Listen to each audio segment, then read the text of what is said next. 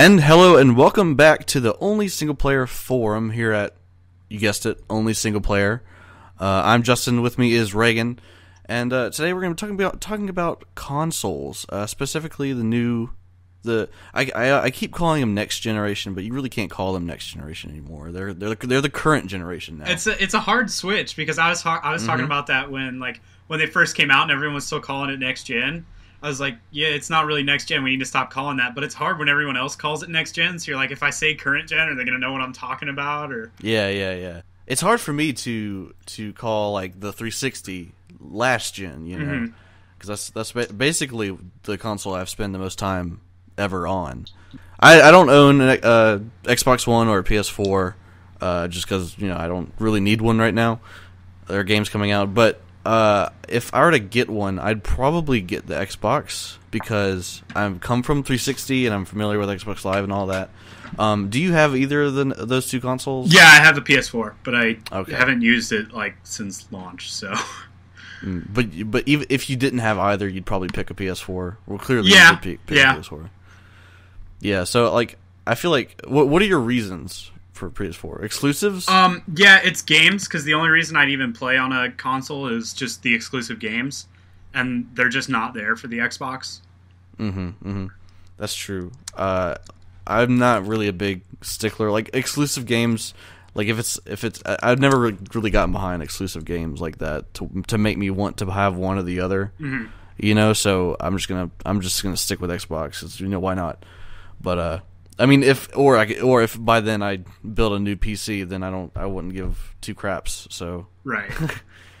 but um, I think that's probably the theme of this next generation, if we want to call it, is that the the PC master race generation, Mhm.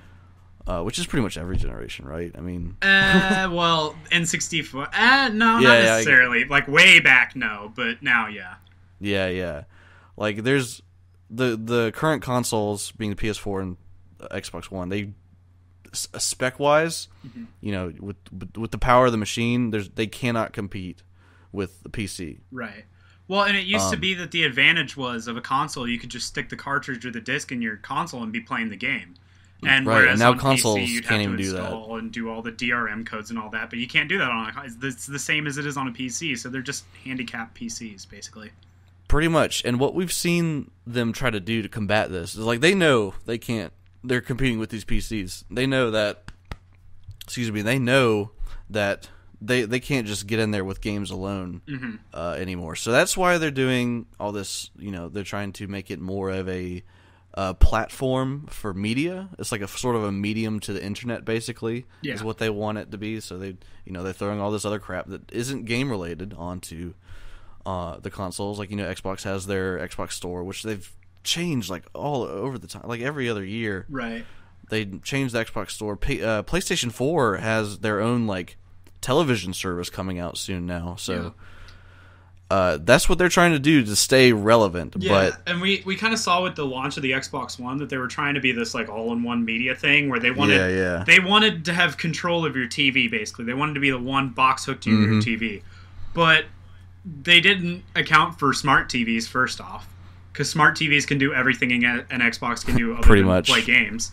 And they also shot themselves in the foot by not making it backwards compatible. So you have to have a 360 Mhm. hooked into your TV anyway as well. So that's uh that's sort of ties in a little bit to another topic that.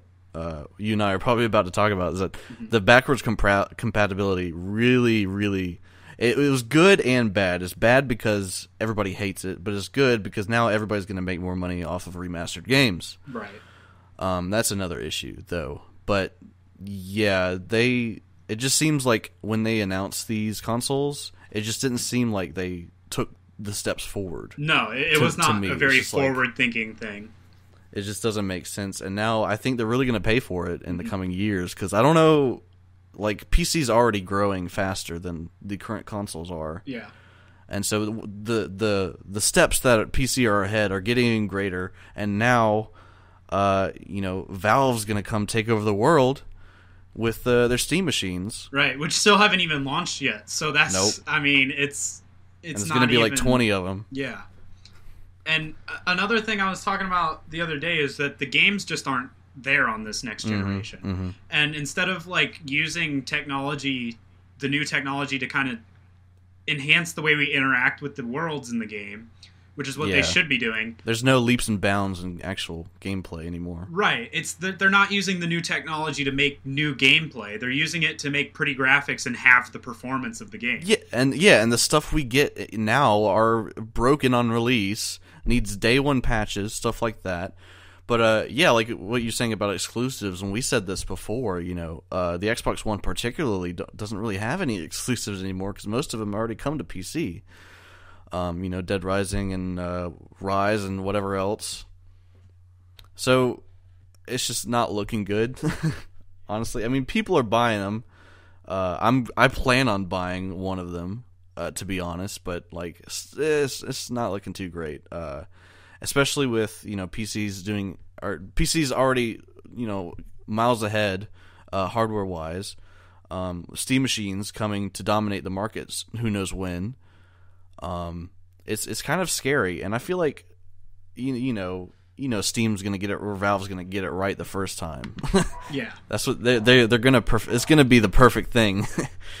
um, Well, and the the other thing I was talking about the other day is when you look at like the PS2, a year after the launch of the PS2, we had like genre defining classic games. Mm-hmm. We had Silent Hill 2, Metal Gear Solid 2, Devil May Cry, Grand Theft Auto 3. I mean like games that are still having an influence in the industry to this day. What does the PS4 have? It has Killzone, mm-hmm. Shadowfall, and The Order. That's pretty much and it. and and TV.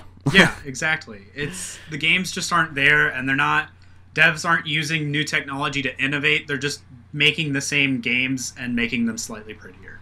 At the end of the day, that's like what is gonna make it. You know, games. You can't. As you can shove all this other crap in there, sure, but like if I if I can't play the games, I need to play the right way, or whatever. It's just not gonna. It's not gonna work out. Right. Um, and it's kind of scary because like I don't know, something's gonna come and like trump these current Xboxes. Like that's that's my that's what I'm seeing. Like something something like either PC is just gonna own, own the world, or like some a new console or something is gonna come out and just it's, it won't be able to compete. They won't be able to compete, or they'll just start pumping consoles out every other year, Right. which is also pretty scary. I mean, Which, yeah, which is this new uh, Nintendo NX announcement is something I'm kind of worried about. Um, because I'm I'm hoping that Nintendo isn't just responding to the criticism that oh the Wii U's underpowered now, and just trying to throw out another yeah, machine that's less powerful than a PC that devs are just going to use for the same games again. Because the mm-hmm. Wii U, it has a unique control scheme. It can do different things. That's using new technology in a way that improves the way we play games instead of just having pretty graphics. Hmm. Well, I mean that that's that's another thing Nintendo does does really well with their consoles is that each console has brings a new gameplay experience to the table. They don't have there hasn't been two Nintendo consoles that have the same controller Right. um, at launch. Uh, you know, the Wii was this big thing that everybody can get behind because it was motion control. Whoa. Yeah. And what they did for the Wii U was take what was best selling for them was their mo- handheld, and they slapped that with the console Yeah. And they patched it together. Now, uh, we don't know much about the NX announcement from No. Nintendo. They haven't really said what it is or anything. So it could be a new handheld, could be Right. new console, could be who knows what. Um, but they've made it very, very clear, and this is going to make us very disappointed because we we want to see them become a third party developer. But Yeah. they've been very, very clear that they want to stick with developing hardware. Yeah. And and I'm okay with that as long as it brings something new to the table. I don't want to see them throw out their PS4. I don't want to see them throw out a console with a, a slick modern controller that doesn't do anything new. So as long as it's something interesting, something that I haven't seen before, I'm fine with it. But hmm hmm yeah, I hope they aren't just following uh, the trend. Yeah, and just trying to keep up Yeah. basically Right. trying to keep up right now. They're they're not doing too well. Um, but they they on a side note, Nintendo has some good games coming out this year as well. So Yeah. they've they've been on an upturn for, Well, for a and little uh. I, I think it was Kirby Canvas Curse just came out like last week for the Wii U, so there's still high profile first party games coming out for it. oh yeah, oh yeah. We just had like a huge Mario season. Yep, definitely. Oh, Mario, Mario Party, that too. That came out. oh yeah, week. Mario Party came out this week. Yep, Yep. that's right. Yeah, so I mean, th- some games are coming out. Nintendo's good about their games. They they know how to make good games. Mm-hmm. It's the same three good games over and over and over, but you know Right. they're still fun. and, well, and nobody's nobody's doing it any better. Nobody's making That's true. that's better true. Zelda games than they do. Nobody's making better Mario games than they do. So I don't I don't have a problem with them doing the same thing. But when it's like a third person cover based shooter and it's just everybody making that and there's already games that are better than it in the same genre and they don't Mhm, bring anything new to the table, that's what I have a problem with. Yeah, And plus, th- there's no other company that releases games with the level of polish that Nintendo does. yeah. Well, see, that's another thing as well that I wanted to mention because Nintendo has a they they are also a publisher, of course, like Uh-huh. Sony and Microsoft. They they are they have their own publishing studios, just like EA, Ubisoft, whoever. Yeah. and but Nintendo's everything is uh, like hundred percent in house. Like it's most of the most of their you know quality things is like Nintendo, Nintendo, Nintendo. Yeah. There are other studios, but they're all they're all under Nintendo. Same way like you know Bioware is owned by EA. Right. Um, Microsoft and Sony don't really have very good relationships with developers. Yeah. I mean, they have they've had developers under their belt, etc. In the past, blah blah blah.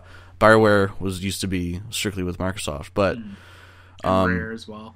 Rare's yeah, yeah, still with them. where, but the these big publishers they really like dominate.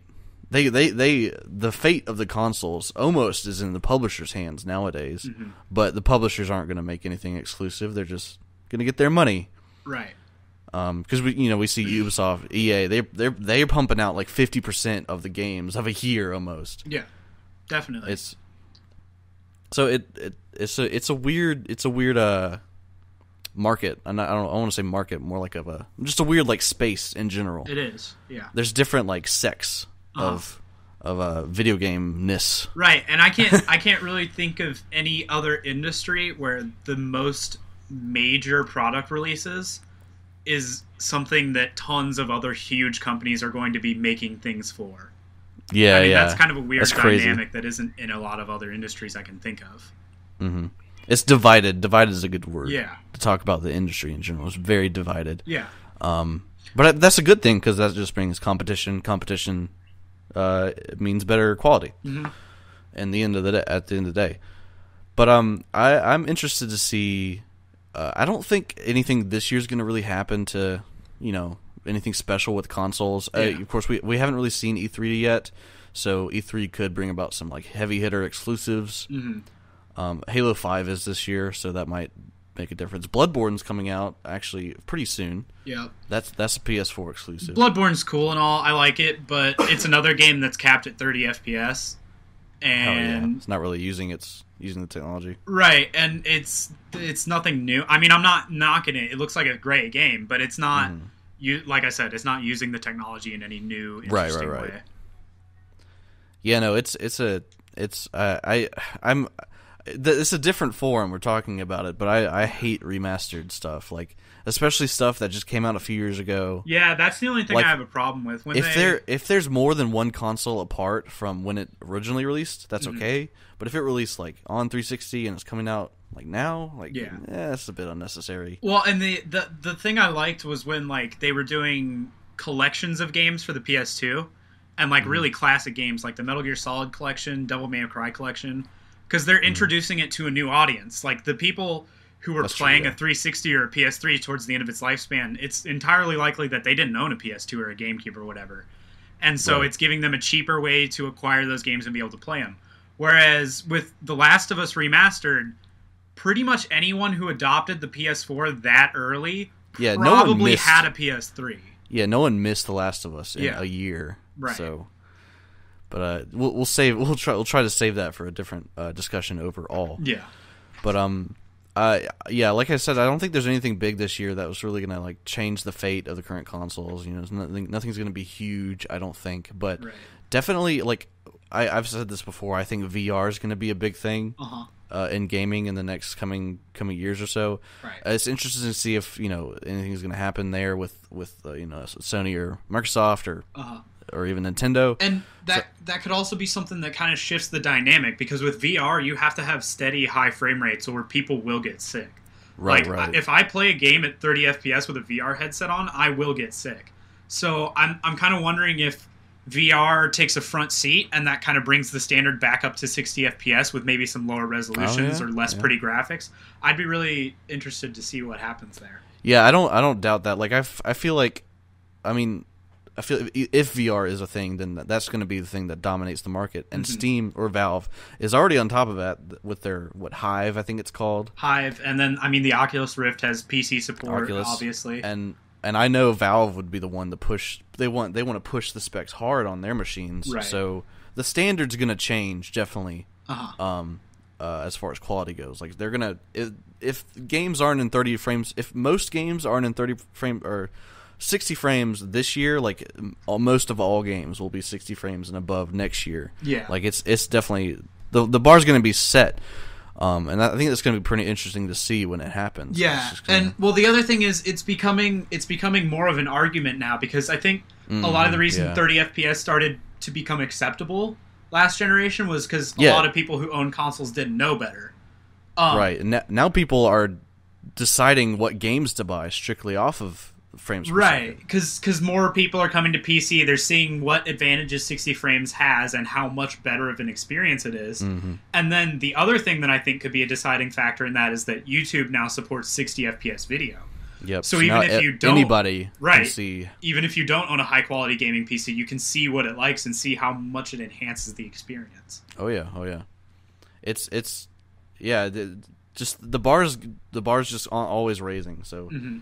Um and you know if if people are making the decisions based off, you know, the quality of how it looks, the you know, frames per second, then obviously more people or less people are going to be buying the 30 frames games and that's going to shift the market ho- however which way. Uh-huh. And it's going to change. Things are going to change Mhm. pretty much uh and we're we'll, we're interested to see what the consoles do. I don't I don't think anything big. I mean, I feel like what uh, was it 2013 was the release of the consoles. Um, fall fall yeah, 2013. Yeah, Um, so we've been like a, what a year and a half. yeah. Nothing really has happened. I don't think anything's really going to happen any again. again. hmm Um, I'm sure we'll get some good games, but yeah.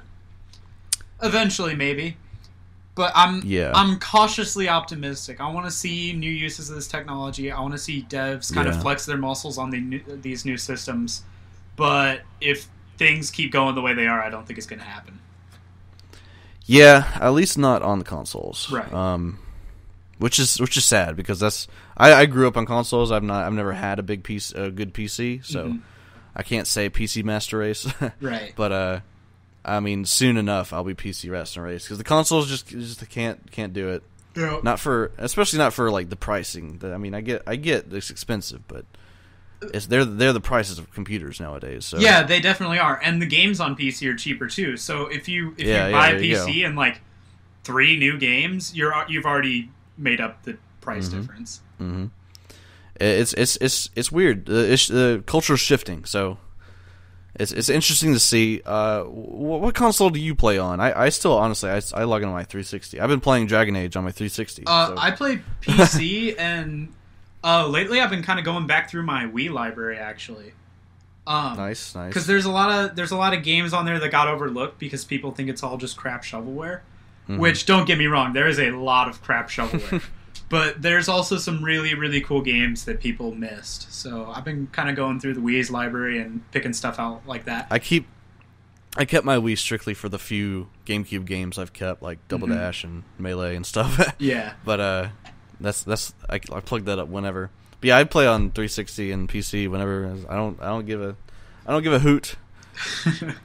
uh, but uh, we'd like to hear what you guys think about the current consoles. If if they if you're satisfied, if you're not, um, if you are PC Master Race or not, um, let us know in the comments below, and uh, uh, be sure to stay tuned for more more forum. If there's something you want us to talk about, you know, let us know. Um, someone will pick it up, and we'll, we can talk about it. Uh, then our next forum. oh, I guess I have to I have to make this forum before the other one now. But the next forum will be about remastered games, our opinions on them, because there's a lot of there's a lot of remastered games coming out nowadays, like Yeah. coll- collections and stuff. It's- Definitely. I'm I'm not a big fan, but we'll talk about that in a minute. So, All right. uh, thanks for watching. I'm Reagan. Or I'm Justin. You're Justin. I'm Reagan. yes. And uh, until next time.